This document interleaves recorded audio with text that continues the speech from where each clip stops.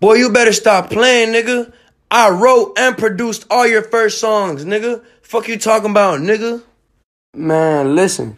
I'm not playing with you no more, nigga. I need all my money, all my royalties, man. I need all my money, nigga. Gucci Gang, nigga, that was my song, nigga. I gave you that song. I gave you your first big hit, fuck, nigga. Smokepurpp, stop playing with me, man. I created SoundCloud, nigga. Stop fucking playing with me.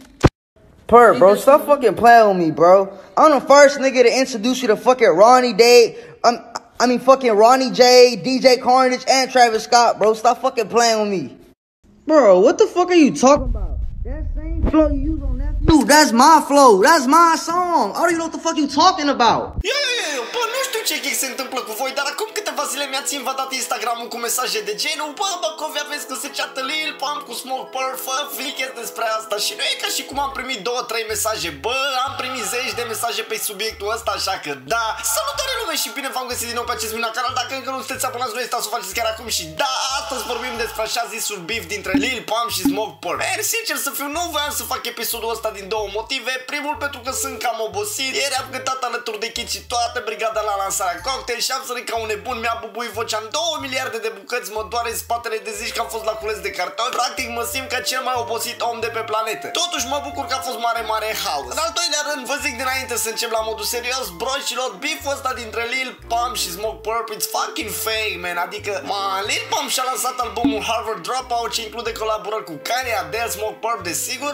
Offset, Quavo, Lil Uzi Vert, Lil Wayne, 2 Chainz, YG și producătorii, whatever Totuși, albumul are o statistică de vânzări în prima săptămână de circa 45-50 de mii de exemplare, ceea ce pentru un artist ca Lil Pump nu e foarte, foarte mult, dar nici puțin. So, till now everything is okay, guys. Bă, deodată nu știu cum au apărut niște story-uri pe Instagram de la Lil Pump și Smokepurpp în care e că se ceartă. Ba, Smokepurpp spune că el a făcut pe Lil Pump, că primele lui piese au fost scrise și produse de el. Lil Pump la rândul lui îl contrazice, afirmă că el a făcut SoundCloud-ul la modul ăsta de hype, că el a introdus pe Smokepurpp în treaba asta cu mulți artiști și așa mai departe. Bă, problema e că nu știu, uitându-mă la story-urile lor, văd în ei cea mai mare falsitate. Adică, bro, oamenii ăștia nici măcar nu știu cum să creeze un beef fals. Se vede de la o poște cât de fake și fals e scandalul dintre ei. Acum intrasem pe pagina de Instagram a lui Smokepurpp, am văzut că deși era în așa zisul beef cu Lil Pump, încă avea postat cover-ul de album al lui Lil Pump și mi-am zis, man, dacă se certau pe bune, oare ar fi păstrat postarea? Apoi, ca să văd că Smokepurpp aruncase postarea so. De aici lucrurile au luat-o puțin mai în serios. Și probabil mulți dintre voi o să fiți la modul, adică ce vrei să zici, mă, Bacovea, că dacă ștergi o postare cu Lil Pump, gata, e stâmbit. E, nu zic asta, dar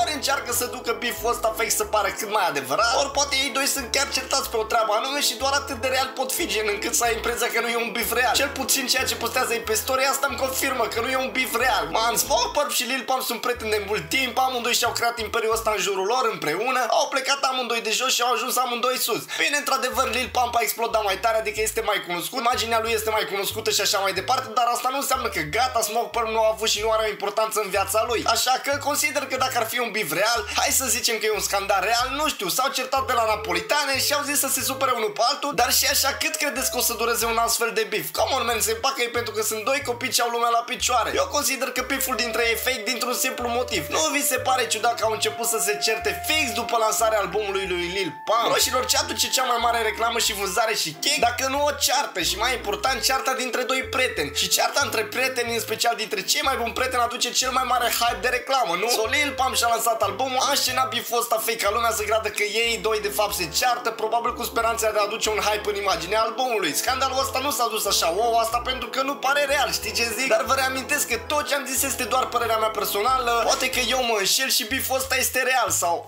I don't know, man. Bă, mă bucur că îmi scrieți pe Instagram diferite subiecte de weekend și nu numai, vă aștept cu un follow dacă nu mă urmăriți încă. Nu ezitați să vă abonați la acest canal și până data viitoare, până la următorul weekend, multă, multă dragoste și pupici. Îmi pare rău de vocea mea, sunt un pic răgușit pentru că ieri a fost haos după cum v-am zis. Bă, Bacovea vă iubește pe toți, multă dragoste. Mua.